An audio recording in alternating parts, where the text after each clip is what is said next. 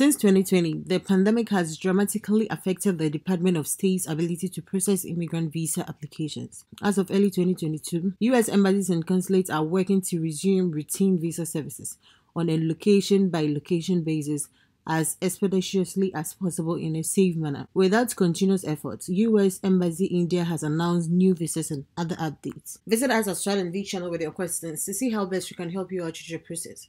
Please don't forget to subscribe if you're new to the channel. Let's dig in. The US Embassy said it will resume routine in-person tourist visa appointments from September. The US mission to India is pleased to announce that we are resuming routine in-person tourist visa appointment in September 2022. Previously scheduled placeholders have now been cancelled. It's tweeted. Applicants whose placeholder appointments were cancelled may now re-enter the scheduling system to book regular appointments. Appointments have been open through 2023.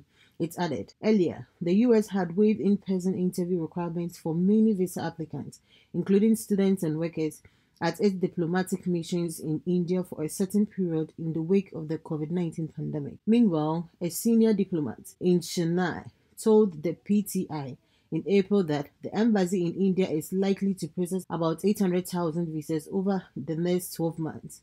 Minister Counselor for Consular Affairs at the U.S. Embassy, Donald L. Heflin, said 800,000 visas are projected to be issued in the next 12 months. We opened a lot of slots for processing the visa.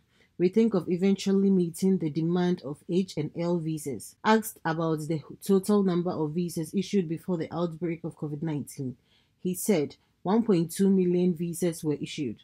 He also expressed hope that the visa processing would reach pre COVID 19 levels sometime in 2023 or 2024. I hope you guys found this video extremely helpful. If you know anybody that could benefit from this information, definitely make sure to share this video with them. We are all about empowering you with knowledge. So the more people that can benefit from this video, the more people we want watching this video. If you like this video, please make sure to hit that thumbs icon. Thanks for watching and don't forget to subscribe and hit on the notification bell for more immigration updates. Bye!